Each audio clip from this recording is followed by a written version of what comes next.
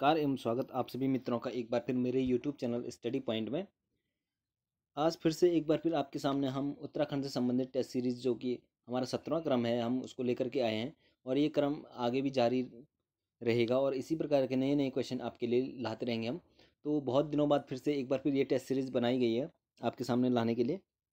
बीच में हमने देवलगढ़ से संबंधित एक जो वीडियो थी लाइव जो आपके लिए लाए थे और उसके बाद एक सोलहवीं टेस्ट सीरीज़ आपके लिए लाए थे और उसके काफ़ी समय बाद हम ये टेस्ट सीरीज़ ला रहे हैं।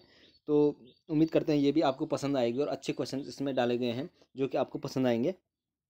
तो शुरू करने से पहले एक बार फिर से बताना चाहूँगा कि जो हमारे चैनल पर पहली बार आ रहे हैं, कृपया हमारे चैनल को लाइक कीजिएगा, शेयर कीजिएगा, सब्सक्राइब कीजिएगा ताकि आपको डेली हमेशा ये टेस्ट सीरीज़ ऐसी मिलती रहे। तो शुरू करते हैं आज की हम टेस्ट सीरीज़। जिसका पहला प्रश्न है आपके सामने। ओणेश्वर महादेव मेला किस जनपद में लगता है? ओणेश्वर महादेव मेला किस जनपद में लगता है? ठीक है, ऑप्शन ए है चमोली, ऑप्शन बी है टीरी ऑप्शन सी है पौड़ी और ऑप्शन डी है रुद्रप्रयाग। तो ओणेश्वर महादेव जो मेला है, वो किस जनपद में लगता है हमारा? वो लगता है हमारा टिहरी में। टिहरी के प्रताप नगर क्षेत्र में लगता है हमारा ओणेश्वर महादेव मेला। ठीक है, यहाँ पर ओणेश्वर महादेव का एक मंदिर है ठीक है? तो उसी महादेव, ओणेश्वर महादेव के मंदिर में यह मेला लगता है और जो पिछले ही महीने ये लगा था हाल ही में, ठीक है? प्रताप नगर में ये मेला लगता है और जो ओणेश्वर महादेव का मंदिर है, उसी में ये मेला लगता है, ठीक है? टीरी के प्रताप नगर में। दूसरे क्वेश्चन पे चलते हैं।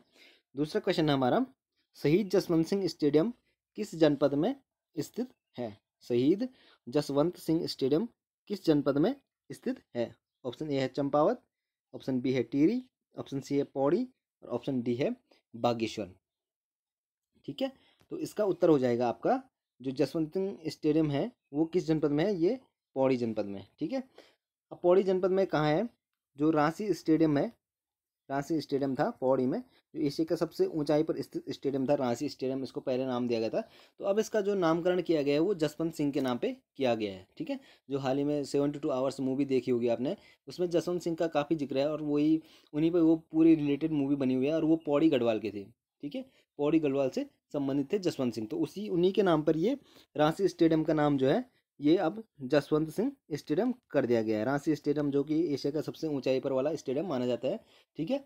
तो उसी का नाम ये शहीद जसवंत सिंह स्टेडियम रखा गया है। अब ये क्वेश्चन बहुत इंपॉर्टेंट है, आगे के पेपरों में आ सकते हैं, ठीक है? अभी तक लोग इसको रांची स्टेडियम के नाम से जानते थे, अब शहीद जसवंत सिंह स्टेडियम इसका नाम हो गया है, ठीक है? तीसरे क्वेश्चन पे चलते हैं। तीसरा क्वेश्चन हमारा, क्वानो मेला लगता है, क्वानो मेला लगता है। ऑप्शन ए है उत्तरकाशी ऑप्शन बी है देहरादून ऑप्शन सी है टीरी ऑप्शन डी है पौड़ी। तो क्वानो मेला लगता है हमारा क्वानो मेला हमारा लगता है, देहरादून में। देहरादून के चक्राता रमाई घाटी क्षेत्र में जो है, ठीक है, जौनसार चक्राता में, जौनसार के ये जौनसारी का जो है, ये मेला है, जौनसारियों का लगता है। तो ये देहरादून के चक्राता क्षेत्र में ये मेला लगता है। कौन सा मेला? क्वानो मेला, ठीक है? प्रश्न नंबर चौथा है, उत्तराखंड में चैती देवी किस वंश के राजाओं की कुल देवी थी? उत्तराखंड में चैती देवी किस वंश के राजाओं की कुल देवी थी, ठीक है? ऑप्शन ए है पवार वंश, ऑप्शन बी है चंद, ऑप्शन सी है आर्यों की और ऑप्शन डी है कुणिंदों की। तो जो चैती देवी है उत्तराखंड में, वो किस वंश के राजाओं की कुलदेवी थी? ये थी चंद वंश के राजाओं की कुल देवी थी, ठीक है? पवार वंश की राजाओं की कुल देवी का हमने जो जो पिछली बार हमने वीडियो बनाया था देवलगढ़ में, ठीक है? राजराजेश्वरी का जो मंदिर था, वो पंवार वंश के राजाओं की कुल देवी थी राजराजेश्वरी, ठीक है? और चंद्रवंश की राजाओं की कुल देवी कौन है? चैती देवी, ठीक है? इसी में चैती देवी मेला भी लगता है, कुमाऊं में ये है, ठीक है? चैती देवी मेला इसी में लगता है और ये जो चंद्रवंश के राजाओं की कुल देवी थी। पांचवा प्रश्न है हमारा। जागेश्वर मंदिर समूह में 124 मंदिरों में से सबसे बड़े मंदिर का नाम क्या है? जागेश्वर मंदिर समूह में 124 मंदिरों में सबसे बड़े मंदिर समूह का नाम क्या है? अब इसमें एक क्वेश्चन आपका फिर क्लियर हो जाता है कि जागेश्वर मंदिर समूह कितने मंदिर हैं? तो ये है 124 मंदिर, ठीक है? जागेश्वर मंदिर समूह में कितने मंदिर है? 124 मंदिर। और इनमें सबसे बड़े मंदिर का नाम क्या है? तो ऑप्शन ए है हमारा मृत्युंजय, महामृत्युंजय मंदिर ऑप्शन बी है महाकाली मंदिर ऑप्शन सी है महाकाल मंदिर, और ऑप्शन डी है दिग्विजय मंदिर, ठीक है? तो जो जागेश्वर मंदिर समूह है वो एक सौ चौबीस मंदिरों का समूह है, ठीक है? इसको भी याद रखिएगा। तो इसमें सबसे बड़ा मंदिर कौन सा है? तो ये है महामृत्युंजय मंदिर। महामृत्युंजय का मंदिर यहाँ पर सबसे बड़ा मंदिर है इन 124 मंदिर समूहों में, ठीक है? अगला क्वेश्चन है हमारा, भादो की मंगरी जलधारा स्थित है। भादो की मंगरी, भादो की मंगरी जलधारा स्थित है। अब भादो की मंगरी क्या हुआ? जो भादो के महीने में जो मंगरी आती है, मंगरी मतलब जो, जिसको पंदेरा भी कहते हैं, ठीक है? जहाँ से एक गूल टाइप की निकलती है और उसे पानी निकलता है तो उसी को कहते हैं मंगरी, ठीक है? तो भादो की मंगरी जलधारा कहाँ स्थित है? तो ऑप्शन ए है चमोली में ऑप्शन बी है टीरी में ऑप्शन सी है पौड़ी में और ऑप्शन डी है अल्मोड़ा में। तो जो भादो की मंगरी है, वो कहाँ है हमारी? वो है हमारी पौड़ी गढ़वाल में, ठीक है? भादो की मंगरी कहाँ है? पौड़ी, गढ़वाल में। इसी को भीमी की मंगरी भी कहा जाता है। अब क्वेश्चन ये भी आ सकता है कि भीमी की मंगरी जलधारा कहाँ स्थित है? भीमी की मंगरी। तो ये है हमारी पौड़ी, गढ़वाल में। ठीक है? प्रश्न नंबर छठवां है, सातवां है। वाइड वाटर वंडर उपनाम है। वाइड वाटर वंडर उपनाम है। ऑप्शन ए है शिवपुरी का ऑप्शन बी है ऋषिकेश का ऑप्शन सी है कौड़ियाला का ऑप्शन डी है हरिद्वार का। तो वाइड वाटर वंडर उपनाम किसका है हमारा? ये है हमारा कौडियाला का, ठीक है? आपने देखा होगा कि ये बहुत प्रसिद्ध है राफ्टिंग के लिए तो इसीलिए इसका उपनाम दिया गया है वाइड वाटर वंडर, ठीक है? किसका नाम है? कौडियाला का उपनाम है, ठीक है? प्रश्न नंबर आठ है। फिक्वाल प्रथा एक विशेष प्रथा है। फिक्वाल प्रथा एक विशेष प्रथा है। ए टिहरी जनपद के ब्राह्मणों की, बी, उत्तरकाशी जनपद के ब्राह्मणों की, सी, चमोली जनपद के ब्राह्मणों की और डी, ऋषिकेश के ब्राह्मणों की। तो जो फिक्वाल प्रथा है, वो है हमारे ऑप्शन ए, टीरी जनपद के ब्राह्मणों की। अब ये टीरी जनपद के ब्राह्मणों की प्रथा कैसी है, इसको थोड़ा डिटेल में देखते हैं। जो गढ़वाल मंडल की जो टीरी जनपद के जो नागराजा मंदिर है, जिसको हम सैम मुखेम मंदिर के नाम से जानते हैं ठीक है? जो सैम मुखेम के, इसमें ब्राह्मण रहते हैं, ठीक है? जो पुजारी वगैरह रहते हैं या जो सैम मुखेम गाँव है, उसमें जो ब्राह्मण कुल के रहते हैं, ठीक है?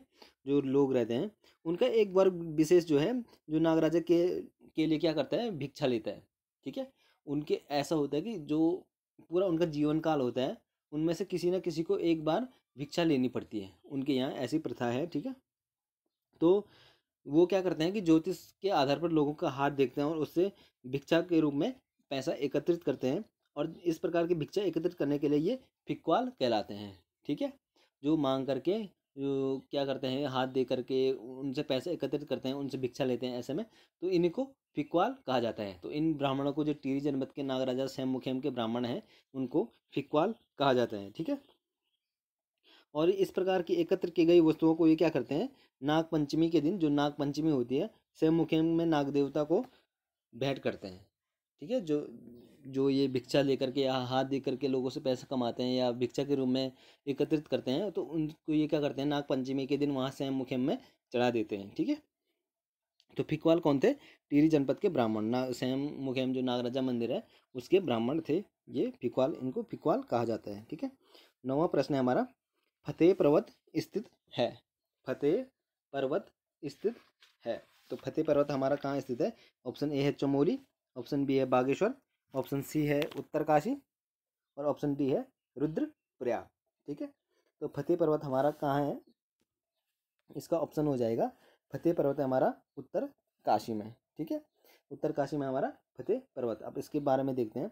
जो फतेह पर्वत है, ये टोंस नदी का तटवर्ती क्षेत्र है। टोंस जहाँ नदी प्रवाहित होती है, उधर त्योणी चक्राता की साइड, ठीक है? त्योणी की साइड। तो वही वाला क्षेत्र है ये, ठीक है?